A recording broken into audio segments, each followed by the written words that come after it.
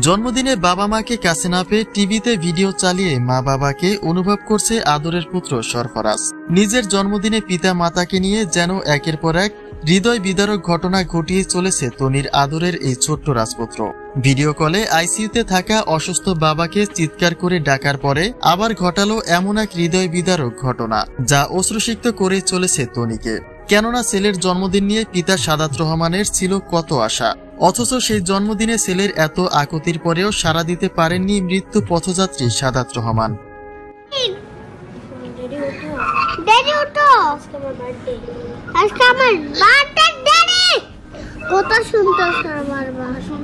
তুমি বাসুন্দ করে ড্যাডিকে ডাকো। ড্যাডি।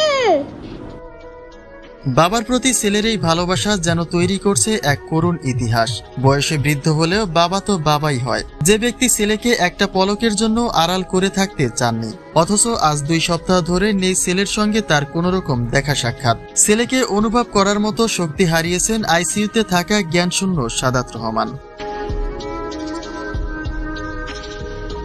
বাবার জন্য প্রতিনিয়ত আহাজারি বেড়ে চলেছে সরফরাজের। নিজের জন্মদিনে ভিডিও কলে আইসিইউতে থাকা বাবাকে চিৎকার করে ডাকার হৃদয় বিদারক ঘটনাটি কাঁদিয়েছে অনুরাগীদের। সে তার জন্মদিনের প্রতিটা মুহূর্ত বাবার সঙ্গে শেয়ার করতে চায়।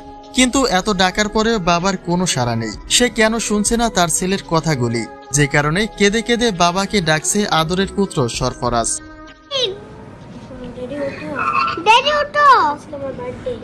আজকে আমার ভিডিও কলে বাবার সারা না পেয়ে এবার টিভিতে বাবা মায়ের ভিডিও দেখে দেখে আফসোস পূরণ করছে সরফরাজ। জন্মদিনের দুই দিন আগেও মায়ের কাছে প্রশ্ন ছিল কবে তার বাবা দেশে ফিরবে। আর গতকাল জন্মদিনে বাবাকে সেই প্রশ্ন করেছে সরফরাজ। কিন্তু এত ডাকার পরেও কোনোই সাড়া দিলেন না তার অসুস্থ পিতা সাদাত রহমান।